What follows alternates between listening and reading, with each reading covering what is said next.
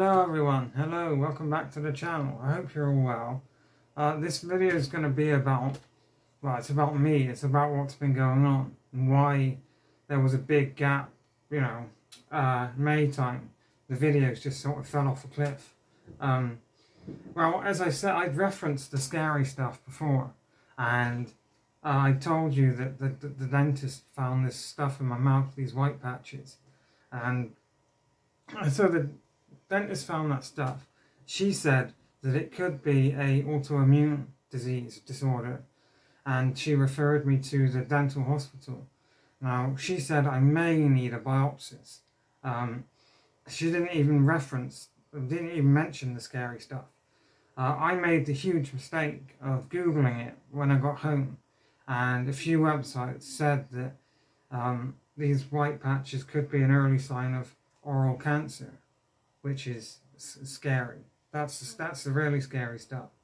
But the the thing in my favour is that both the dentist and the dental hospital aren't very worried. Um, if they were worried and if they did think it was cancer, hopefully, touch wood, they would, you know, see me sooner. I'm still waiting for a letter. I haven't even had a letter. It could be another two months before they see me. So you know, it's not urgent. She told me it's not urgent, the dentist, I mean. And when I rang up the dental hospital to see what was going on, because I'm worried, uh, they said it wasn't very urgent either. So, you know, it's possible to touch wood, I'm completely overreacting. Uh, but either way, you know, I that's the anxiety over that is why I just couldn't film. I wasn't myself for about a month, but eventually, I mean, I'm still super anxious about it if you can't tell. But eventually, you've just got to get on with it. You just got to live your life, you know. And I just, I, I just kept going, keep going. Um, and it, it is scary, but I will obviously keep you updated when I get uh, about get more information. But I, there's a few things like she said may need a biopsy. And even then, a biopsy doesn't mean they think you have cancer. Uh, a biopsy checks for loads of different things. Uh, but it, it could be, there's tons of different stuff it could be. But the fact that it, one of those things is cancer is very scary. Um, a big like thing in my favor is that uh, one of the I, all right I did drink alcohol maybe more alcohol than I should have at my age uh, but I've never smoked a cigarette a day in my life. I've never ever been interested in cigarettes. They've never seemed like a, yeah, they're just yucky. But the, one of the biggest contributors to that type of cancer in your mouth is uh, smoking. Uh, and I've never smoked. That's just, but anyway, we got got to stay positive, and I hope, you know, it's it's just terrifying, and I sort of just made me question everything. Uh, I mean, the diet. I started this diet because I was worried that I was going to make it even worse. And that, that seems to have scared me healthy, that makes sense.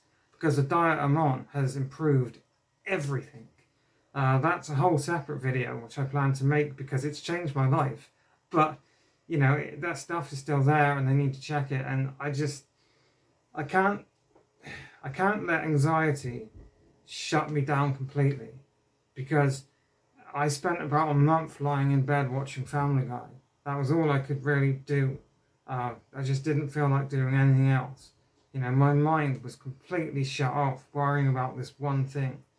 And yeah, but we, you know, we stay hopeful. I'll keep you updated. And I originally didn't want to make this video because I didn't want to jinx it, but I think that's a, might be a bit silly. Plus, that's just, you know, it's just a lot on my mind, and I will keep you updated. And I just wanted to uh, vent about it.